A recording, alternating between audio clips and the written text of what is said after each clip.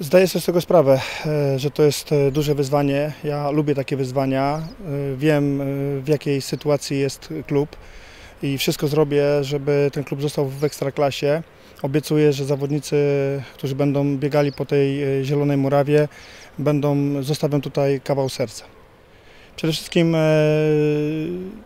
patrzę na, na, na ten pierwszy mecz. Najważniejszy mecz e, jest w tej chwili z Rakowem i na tym meczu się będziemy mocno, e, mocno skupiać.